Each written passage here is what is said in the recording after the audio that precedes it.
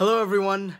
Uh, very happy New Year's Eve to you, or happy New Year's Day, depending on when you're watching this and when I upload this video. And you know, New Year's Eve is a really, really exciting time, right? It's a day before New Year's Day, which is crazy. So I've decided what I'm gonna do tonight is make four different beats, and they each correlate to a certain expression that I feel in celebration of New Year's Eve and New Year's Day. I hope you enjoy. Alright, for the first beat, I'm thinking something very exciting, because, I don't know, tomorrow's 2022, and I'm pretty excited. I'm, I'm thinking, like, sort of a, sort of an up-tempo, 150, 160 trap beat with, like, jazz and R&B chords on top of it. We can do that.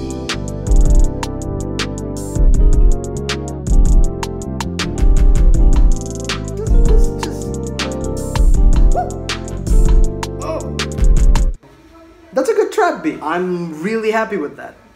I think we're gonna add keys to it now. Cause you know, I always appreciate some good keys. First I gotta duplicate this layer, cause I am using a laptop keyboard. Legitimately. I'm not joking. It's, I'll show you. Here it is, in all its glory. I do not have my MIDI keyboard with me, but this works just fine. You just have to know when to use the right thing.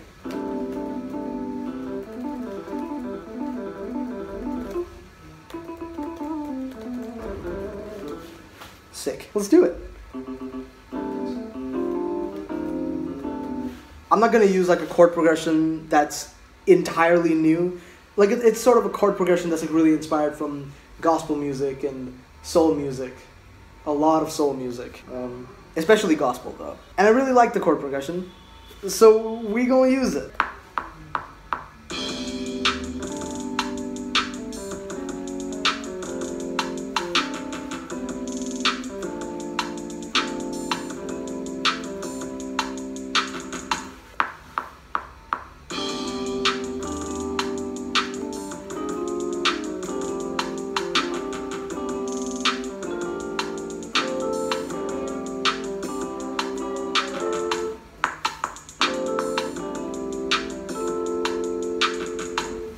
That's exactly what I'm looking for. Okay, so my keys are done. Whoop, that's not my keyboard.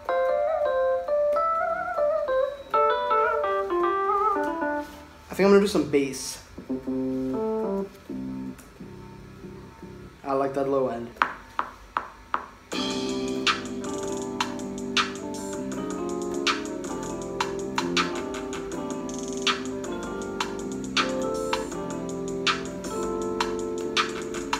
For example, this bass, I'm gonna shift it. I'm gonna shift it back a little bit.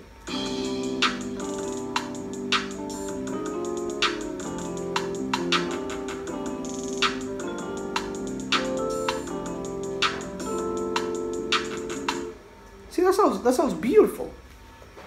That actually sounds beautiful. I gotta have at least like a pad or something. So my uh, my pad of choice for uh, for stuff to sound grand is this, which is classic analog pad. It's incredible. I love it. We're gonna use it.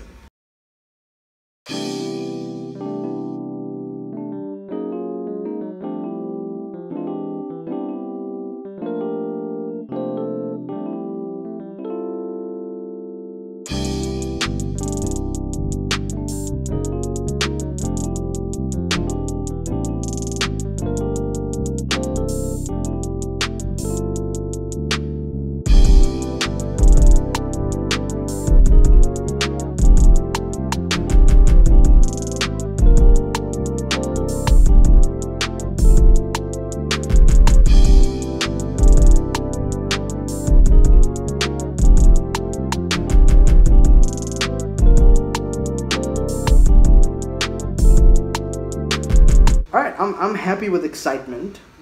I really am. Um, I think it sounds great. Let's move on to the next beat. So for the next beat, I've chosen like 120 BPM.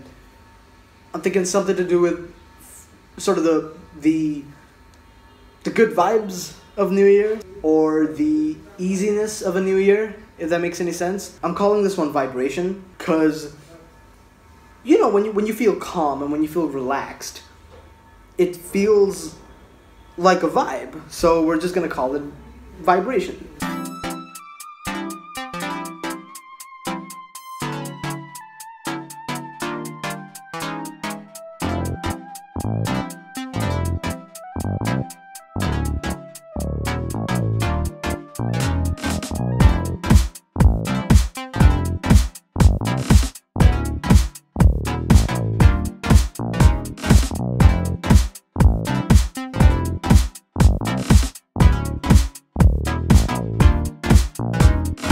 Alright, so the reason I wasn't able to show the process of producing the tracks themselves, um, along with my beloved commentary, the big reason for that is, well, my phone died, and I kind of really wanted to focus on producing the tracks rather than recording the process of doing it.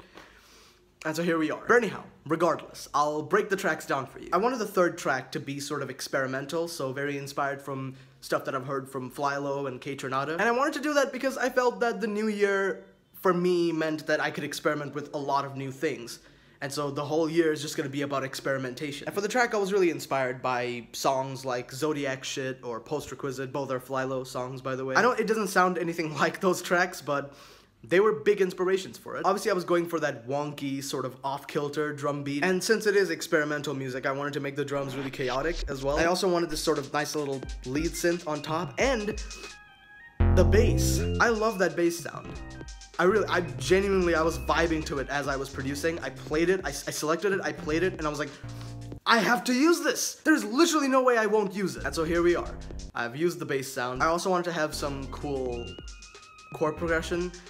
Uh, and I really love it when stuff that is sort of alienating audiences, stuff that is experimental, has chord progressions that genuinely sound sick. And I thought to myself, what better chord progression to go for other than something I've heard in almost every single contemporary R&B song. Not really every single one of them. R&B is a versatile genre. There are a lot of different types of chord progressions, but this one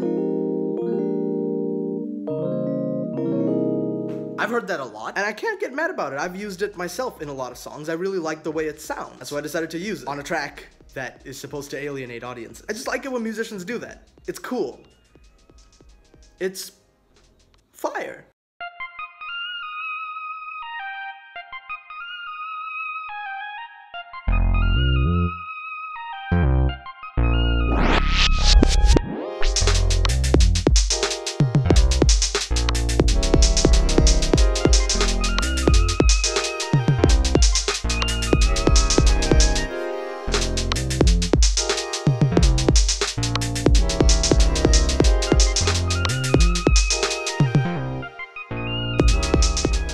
Last track, I wanted to inspire relaxation and to be calm because, you know, the year is gonna be absolutely terrific. It's gonna be very exciting. There's a lot of stuff happening, but at the same time, we need to respect the quieter times, the still times. I wanted to go for that J Dilla Nujabes aesthetic, so sort of lo-fi, jazzy.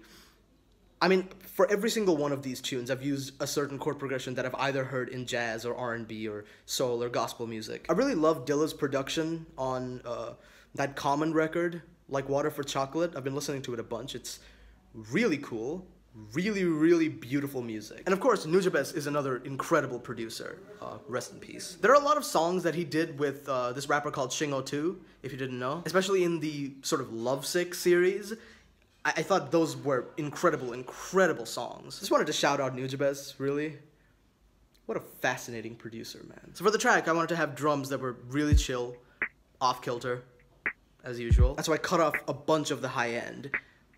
And to me, it sounds warm now. I wanted to use this sort of electric bass sounding synth bass. Logic has some incredible patches for that. And of course, you know your boy loves some Rhodes. So I used some Rhodes piano, and here we are.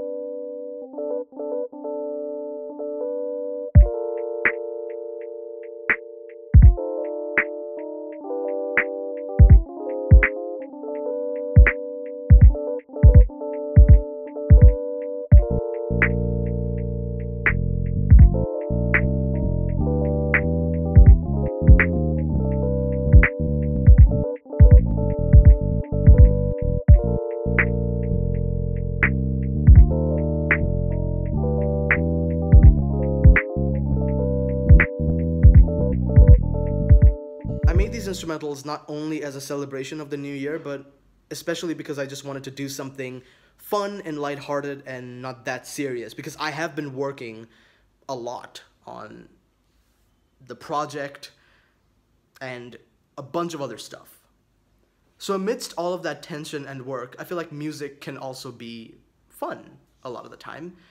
It should it should be fun most of the time. Even when you're making projects. Make sure you're having fun making projects. And also make sure you have fun this year. Have a great, amazing, prosperous 2022. Um, thank you for watching.